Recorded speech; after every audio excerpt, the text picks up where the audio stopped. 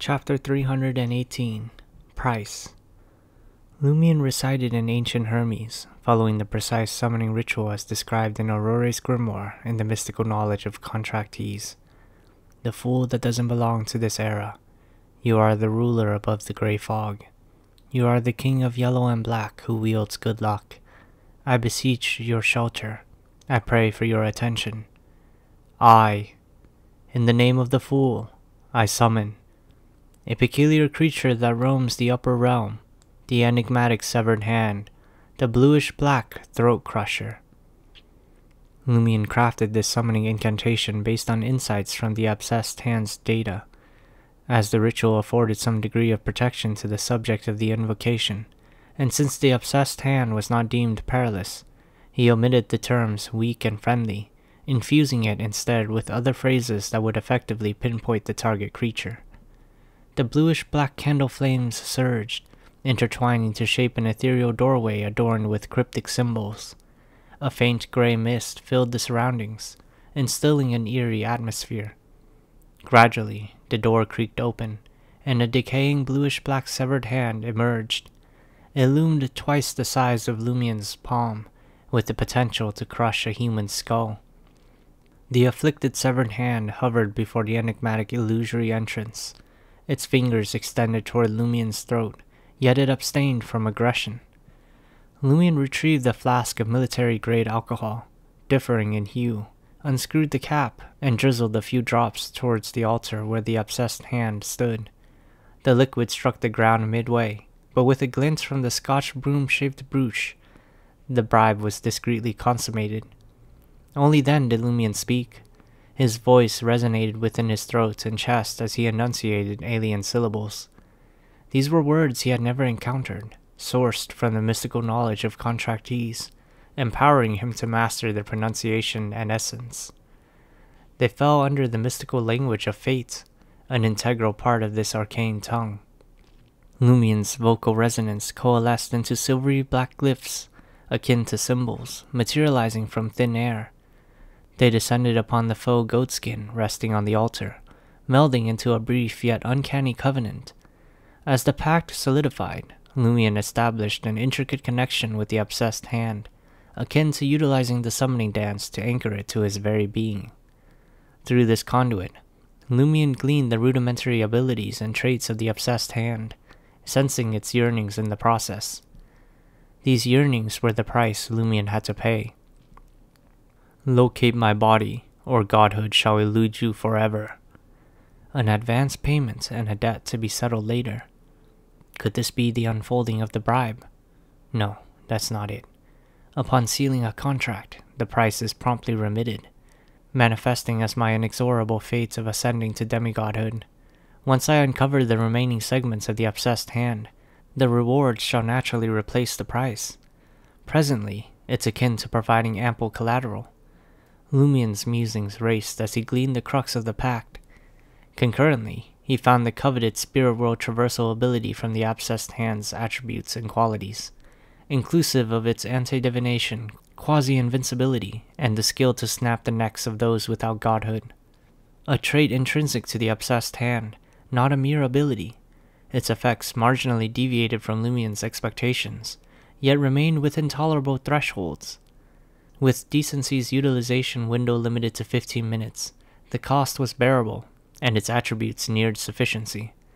Lumian squandered no time, summoning the other candidates and vowing in ancient Hermes, I shall aid you in finding your body. Until then, godhood shall elude me. These words fused with the surroundings, morphing into wisps of bluish black mist that seeped into the faux goatskin parchment. The obsessed hand descended, leaving a tincture of yellow-tinged, sanguineous pus within the contract's vacant space. Spontaneously, the covenant ignited, yielding myriad silvery black symbols and words. They interlinked, configuring an intricate and enigmatic pattern, abruptly condensing onto Lumian's shoulder. Though concealed beneath his attire, Lumian's psyche conjured an image of his right shoulder. A curious black seal-like emblem materialized there, Instinctively, Lumian apprehended that upon activating the contract sigil, he could harness the obsessed hand's attributes to traverse the spirit world. Dissolution of the contract was only conceivable upon the demise of either party, a destiny preordained. Without bothering to experiment with spirit world traversal, Lumian terminated the summoning and embarked on a fresh ritual. In the name of the Fool, I summon the vengeful spirit that wanders the void, the headless bride in her eternal plight, and the wellspring of a bloodline's malevolence. Once again, the enigmatic illusory portal manifested, enshrouded in bluish black flames interweaving. A frigid wind swept forth, transforming the summer night into a wintry chill. Lumian observed a form materialize from within the illusory entrance, adorned in a vibrant red festive gown, meticulously threaded with gold. The figure stood before him. Without question, the figure lacked a head, exuding an aura of deep-seated malice and resentment. Lumian meticulously followed the prescribed procedure, utilizing the liquor as a bribe, reciting the contractual pledge. He discerned the price demanded by the headless bride. Sacrifice a kin or friend. Thank you for your presence, Lumian murmured with a sardonic smile, concluding the summoning.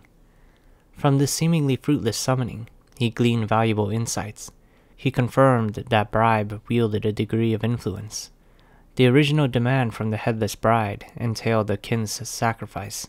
However, bribe had managed to expand the scope to encompass friends. Lumian's sights next shifted to the human-faced mantis. He had formulated a summoning phrase. The vindictive spirit that wanders the void. A hunter adopting mantis guise. A shapeshifter adept at donning human semblance. Amidst a peculiar swooshing sound, an immense, translucent cyan mantis emerged from beyond the illusory door. Its head bore the visage of youth, handsome and radiant, inadvertently lowering one's guard. Sensing the summoner's presence and gender, the mantis swiftly transformed into a resplendent woman attired in a black evening gown. Internally scoffing, Lumian meticulously fulfilled the entire sequence bribe, recitation, and perception. The human faced mantis delineated three categories of offerings, requiring solely one to be met contractor's reproductive organs, contractor's capacity for lying, contractor's immolation at the stake. Post bribe, the stipulations underwent some relaxation, affording an additional choice or two. This entity seeks but a single thing human anguish. The first aligns with his malevolence towards men. If I were of the female gender, this option likely wouldn't surface. The second corresponds to slanderers and false accusers while the third aligns with the stake he himself endured. Lumian swiftly concluded.